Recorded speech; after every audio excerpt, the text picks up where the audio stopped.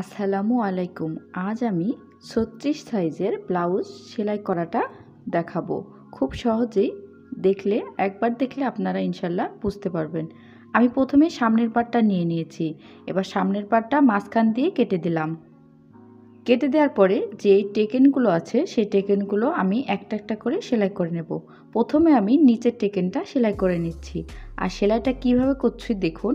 সামনের দিকে এসে আমি কিন্তু ঠিক এতটুকু সুতা এরকমভাবে সেলাই করে একটু বাদ রেখে সেলাইটা সুতাটা কেটে নিতে হবে। এবং আরেকটা টেকেন আমি ঠিক এইরকম করে ভাঁজ করে দাগ মার্কিং করে নিয়েছি। নিচের টেকেনটা একটু বেশি করে সেলাই করে নেওয়া লাগবে। আর এই যে শেষের দিকে এসে এক ইঞ্চি বারবার থেকে একটু সাইড দিয়ে সেলাই করে করে সেলাইটা একটু বেশি করে নিয়ে আসতে হবে। আর এরকমভাবে সুতাটা একটু বাড়তি রেখে কাটতে হবে যেন সেলাইটা খসে না যায়। অনেক সময় টেকেনটা খসে যায়। আর এভাবে সেলাই করলে কিন্তু টেকেনের সেলাইটা খসার কোনো সম্ভাবনা থাকেই না। এই যে এখানে ডাবল যে কাপড়টা আছে পাটটা, সেখানে একটু ঘুরিয়ে ডাবল সেলাই করে নিতে হবে। দেখুন, এই যে শেষের দিকে এসে একটু পাশ দিয়ে একটু বেশি করে সেলাইটা করে নিতে হবে।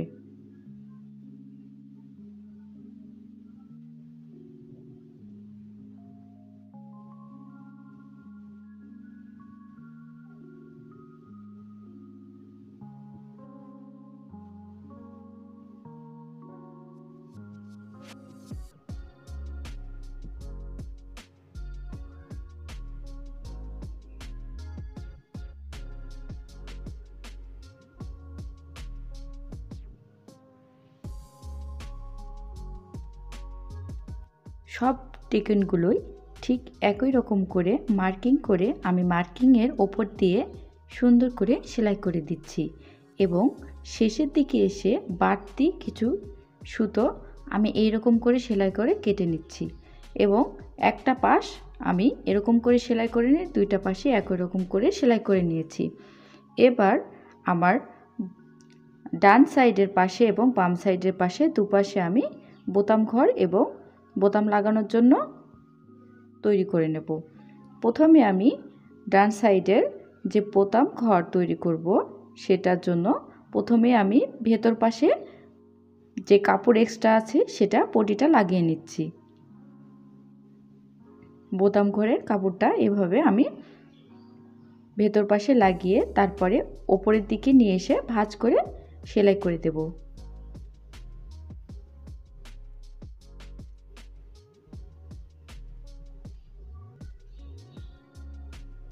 এবার আঙ্গুলের সাহায্যে ঠিক সু সেলাইটা এভাবে দেবে দিয়ে এতটুকু পরিমাণ আমি ভাজ করে ঠিক এইরকম করে একটা ভাজ করে তার উপর দিয়ে একটা চাপ সেলাই দিয়ে দেবো।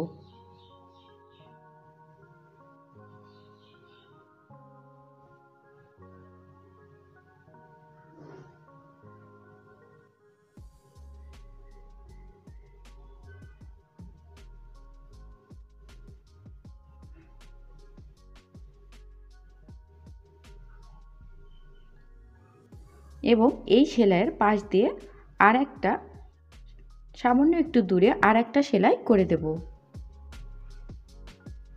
তাহলে এই যে বোতাম ঘর, যে কাপড়টা তৈরি করছি, এটা দেখতে ভালো দেখাবে।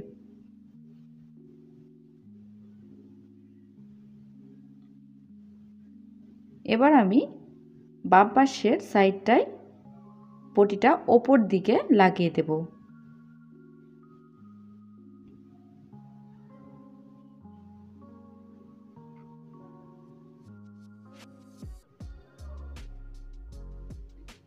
এবার কাপড়টাকে ভাঁজ করে সাইড দিয়ে আর একটা চিকন করে সেলাই করে দেব।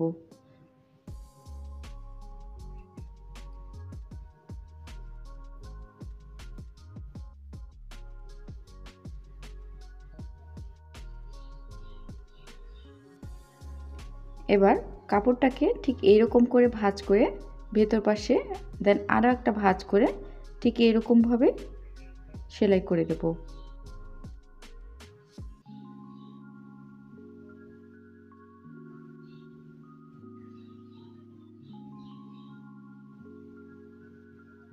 একটু সাইড দিয়ে সেলাইটা করে নিতে হবে।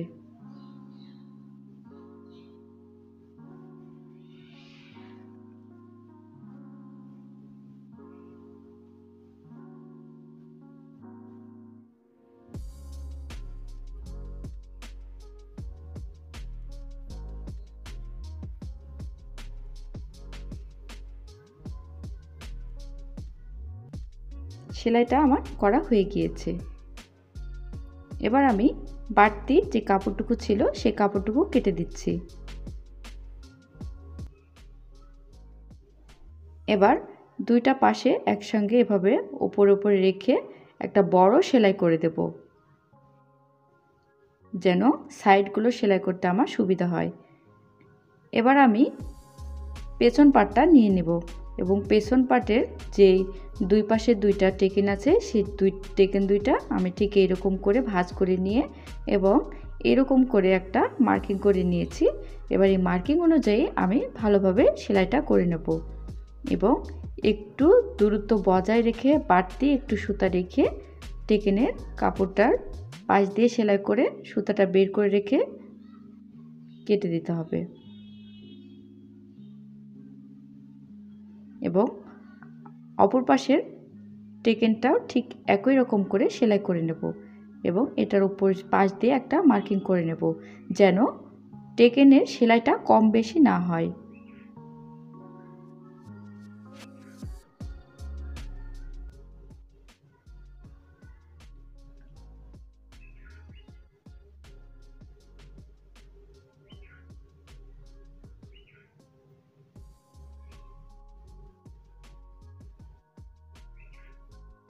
এবার আমি দুইটা পাশ ওপর উপর রেখে দেন সোজা পাশ ভেতরে রেখে উল্টো পাশে দুইটা টিক ওপরে যে পুট আছে সে পুট দুইটা আমি সেলাই করে নেব। আর পুট দুইটা অবশ্যই ডাবল সেলাই করে নিতে হবে।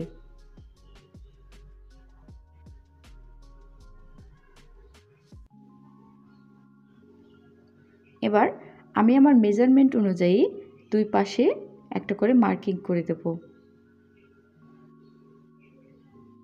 নিচের দিকেও আমার মেজারমেন্ট অনুযায়ী আমি মাপটা নিয়ে নিচ্ছি। এবং দুই সাইডে দাগ কেটে দিয়েছি। এবার এই দাগ অনুযায়ী সুন্দরভাবে সেলাইটা করে নেব। আর অবশ্যই ডাবল সেলাই করে দিতে হবে।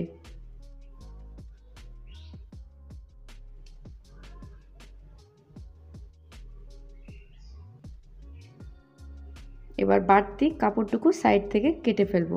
আর মাঝখানে যে সেলাইটা করেছিলাম, সেই সেলাইটা এবার আমি খসিয়ে নিচ্ছি। খসিয়ে নেওয়ার পরে নিচের দিকে ঠিক এরকমভাবে একটা চিকন করে সেলাই করে দিতে হবে। দেন তার উপরে আবার ভাঁজ করে একটা চওড়া সেলাই করে দিতে হবে। ঠিক আপনারা ওপর থেকে যে ঝুলটা আছে লম্বা লম্বি মাপ, সেই মাপটা ঠিক রেখে এই নিচের সেলাইটা করে নেবেন। তো আমি নিচের সেলাইটা ঠিক মাপ রেখে করে নিয়েছি। এবার আমি গলার সেল যেই পটিটা আছে সে পটিটা তৈরি করে লাগিয়ে নেব। তো প্রথমে আমি দুইটা গলার ওপরের দিকে সেলাই করে নেব। সেলাই করে নিয়ে নিয়েছি। এবার যেই গলাটা ছোট আছে মানে সামনের গলাটা আমি এভাবে মাঝখান দিয়ে কেটে নেব। কেটে নেওয়ার পরে এই যে সাইড দিয়ে একটু চওড়া করে আমি সেলাইটা করে নেব।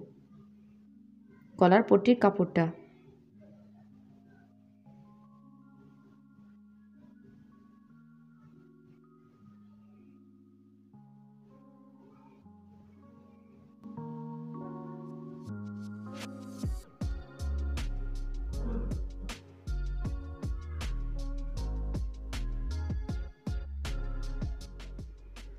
এবার আমি গলার পট্টির কাপড়টা ঠিক এভাবে রেখে ওপরের দিকে আমি সোজা পাটে, পাশে রেখে পট্টির কাপড়টা দেন এইরকমভাবে সেলাই করে দেব।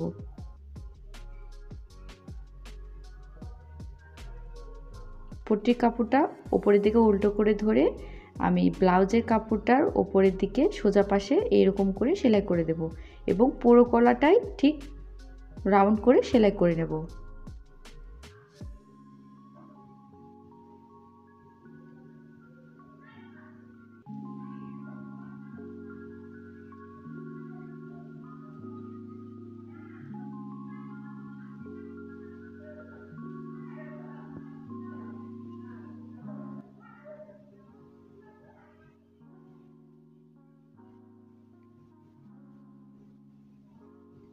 এবার সোজা পাশ দিকে আমি গলার রাউন্ড শেপগুলো ঠিক এরকমভাবে যে গলার পট্টির কাপড়টা আছে সে পট্টির কাপড়ের পাশ দিয়ে আমি একটা চাপ সেলাই দিয়ে দেবো।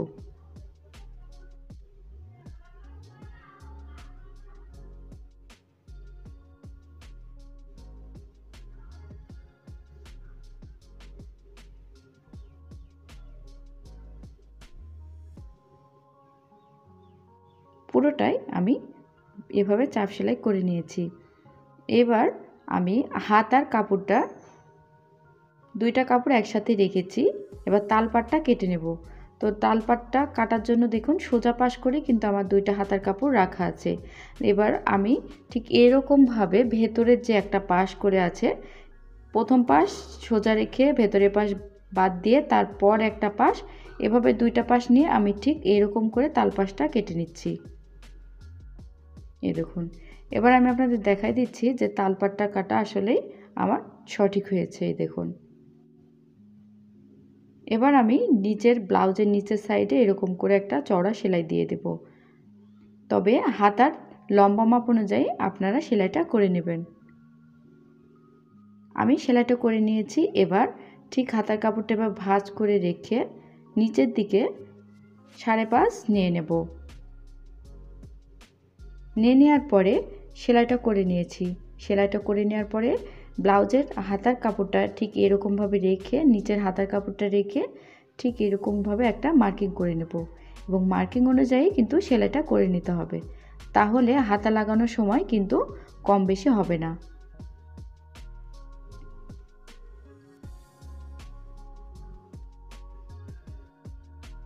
এবার আমি এভাবে সেলাই করে নেওয়ার পরে ঠিক কাপড়টাকে এই যে ব্লাউজটাকে এভাবে রেখে দুইটা পাশ, হাতার পাশ একটা একটা করে আমি সেলাই করে নেব। এভাবে মিল করে রেখে দেন, তার উপরে হাতার কাপড়টা রেখে এভাবে উল্টো দিক করে রেখেই কিন্তু সেলাইটা করে নিতে হবে। আর চাইলে এভাবে মিডিল পয়েন্টে এভাবে সোজা দিক সোজা দিক ঠিক রেখে উল্টো দিক করে সেলাইটা করে নিতে হবে। হাতার কাপড়টা এবং ব্লাউজের কাপড়টা সোজা পাশ ভেতরে রেখে ঠিক নিচের দিক থেকে আমি সেলাইটা করা শুরু করব।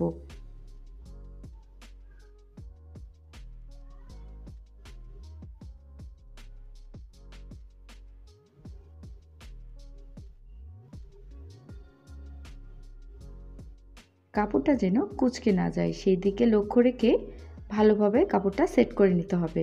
হাতার কাপড়টা যেন কুচকে না যায় এবং নিচের যে বডির পার্টটা আছে সেটাও যেন কুচকে না যায় সেই দিকে খেয়াল রেখে একটু ভালোভাবে গুছিয়ে রাউন্ড করে সেলাই করে নেব। এই দেখুন, আমার হাতার কাপড়টা ঠিক কতটা সুন্দরভাবে সেট হয়ে গিয়েছে এবং একই রকম নিয়মে আমি দুইটা হাতার কাপড়ই সেট করে নিয়েছি। এবার গলার যে নিচের দিকে এই যে পট্টির কাপড়টা রেখেছিলাম, সেটা আমি হাতে সেলাই করে দেখিয়ে দেব। ঠিক এরকমভাবে আগে হাত দিয়ে ভাজ করে নিতে হবে। দেন আমি একটা সুতা নিয়েছি। একটা সুতা নিয়ে আমি ঠিক এরকমভাবে ছোট ছোট করে সুই দিয়ে সেলাই করে নেব। এটাকে হাতে তুরপাই বলে। তবে আপনারা যদি কেউ হাতে তুরপাই করতে না চান, তাহলে মেশিন দিয়েও সেলাই করে নিতে পারেন।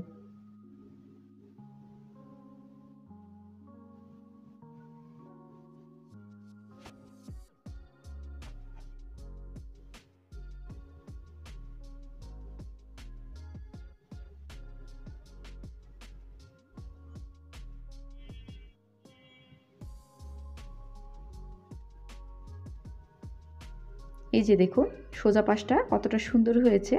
এভাবে আমি পুরোটাই সেলাই করে নেব। আর খুবই ছোট ছোট করে সেলাইটা করতে হবে। যেন সোজা পাশ দিকে দেখা না যায়। এভাবে হাত দিয়ে টেনে টেনে সুন্দরভাবে মিল করে সেলাইটা করে নিতে হবে।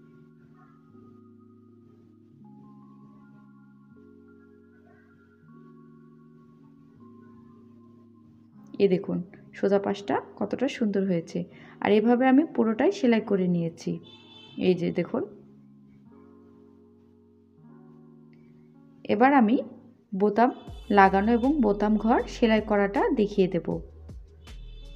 তো উপর পাশে আমার যে বাম পাশের সাইডটা আছে, সেখানে আমি বোতামের ঘর তৈরি করব। সেই জন্য দেখুন, ভাঁজ করে নিচ্ছি। ভাজ করে নেওয়ার পর যেখানে এরকমভাবে দাগ হয়েছে, সেখানে সেখানে আমি একটা করে মার্কিং করে দেব। তো আমি এখানে পাঁচটা বোতাম বোতাম ঘর তৈরি করে নেব।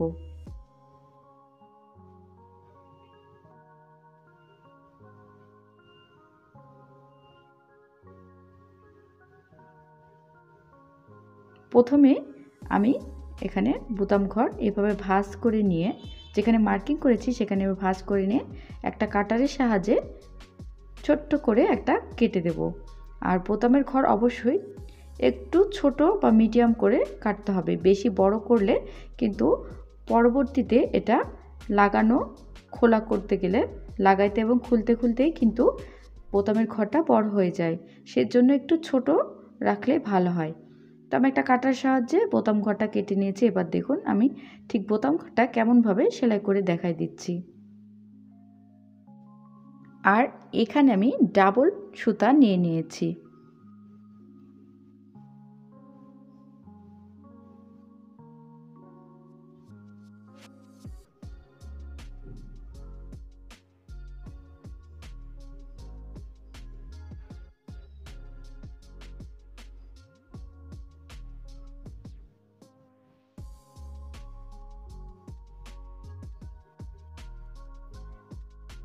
যদি আমার এই ভিডিওটা ভালো লাগে প্লিজ একটি লাইক কমেন্ট করতে ভুলবেন না। আর যার, যারা নতুনরা আছেন প্লিজ আমার চ্যানেলটিকে সাবস্ক্রাইব করবেন।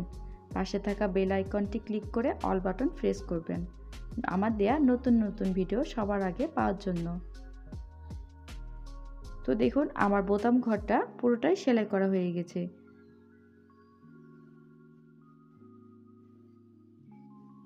এবার আমি উল্টো ভেতর পাশ দিকে গিয়ে সেলাইটা গিট দিয়ে সুতাটা কেটে নেব।